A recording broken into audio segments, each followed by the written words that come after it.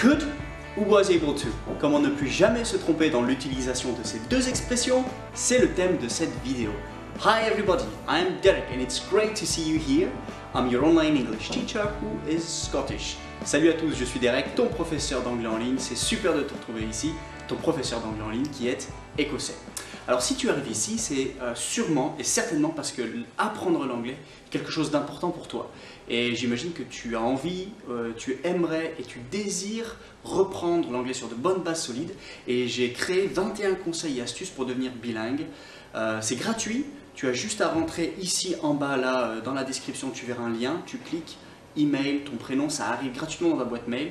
Tu suis les instructions, c'est très intuitif. Dedans, tu as tout ce qu'il faut pour réussir à apprendre l'anglais toute la grammaire en un fichier A4, euh, un outil révolutionnaire pour apprendre le vocabulaire de manière simple, avec accès à 1500 mots en anglais par euh, liste.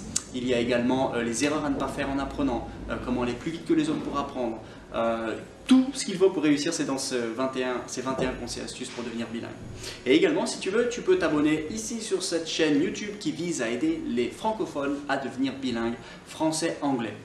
Un petit clic là, c'est pour toi, tu pourras suivre les cours. Could ou was able to. Lequel choisir? Comment faire la différence? Qu'est-ce qui les différencie réellement en anglais? Euh, Deux phrases que j'ai notées. I could speak English et I was able to speak English. Alors, speak, parler. English, speak English, parler anglais. Différent de parler en anglais. Donc on aurait mis un in, speak in English, parler en anglais, là c'est speak English, parler anglais tout court. Speak English ici. Et I étant le sujet, je, AI, comme si on pinçait, ça fait mal, I, c'est une diphtongue, c'est-à-dire qu'il y a deux sons dans la lettre I, AI, I.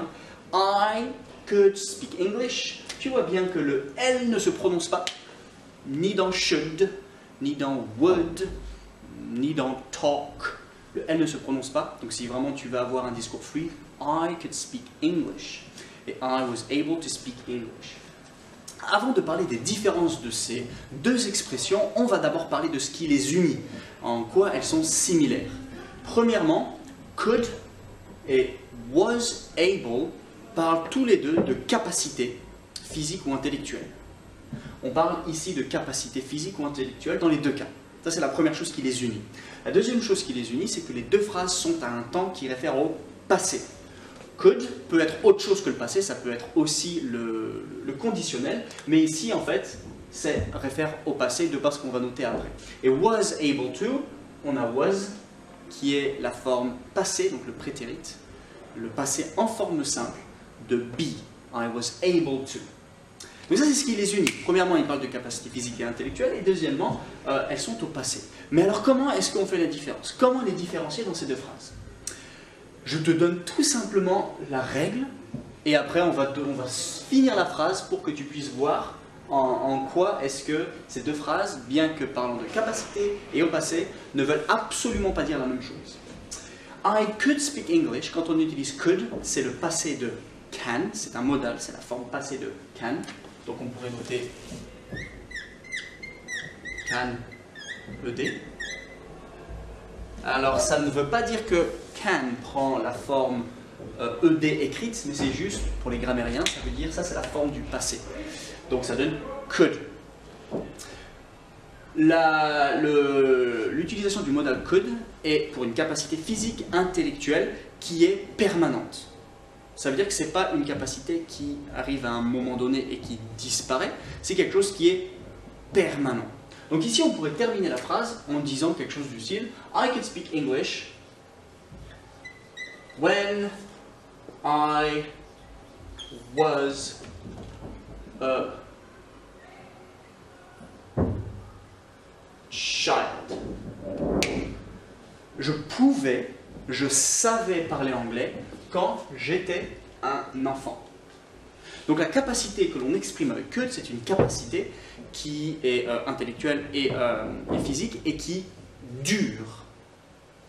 Par contre, avec was able to, I was able to speak English.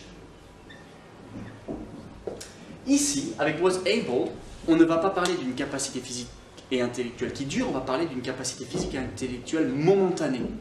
Quelque chose qui arrive et qui presque était une exception ou qui était euh, euh, inattendue. Par exemple, but it was a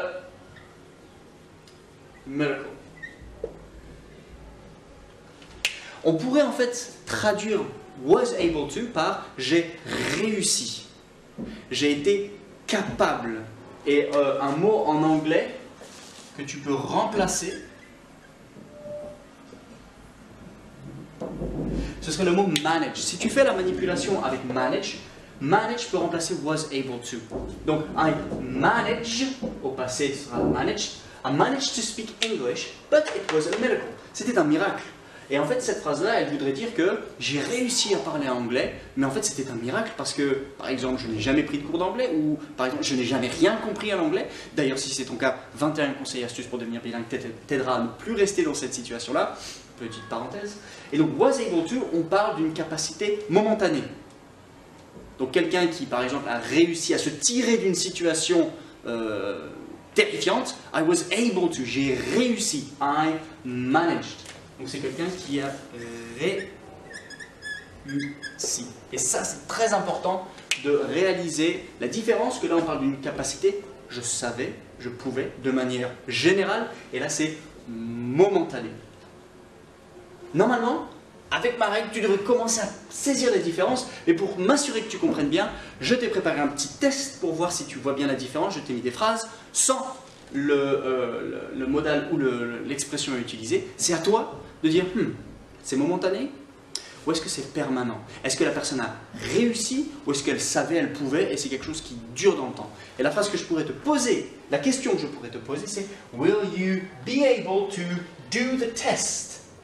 Seras-tu capable, réussiras-tu à faire le test? Le test, il est en bas en commentaire, je te pose une petite question. N'oublie pas de repartir avec tes 21 conseils astuces pour devenir bilingue, ça t'aidera réellement pour progresser. Abonne-toi, partage si tu as d'autres personnes dans ton entourage qui veulent apprendre l'anglais de manière fun, simple, efficace, authentique. Et par un écossais, je suis désolé, personne n'est parfait, mais il faut commencer quelque part. See you very soon, bye bye.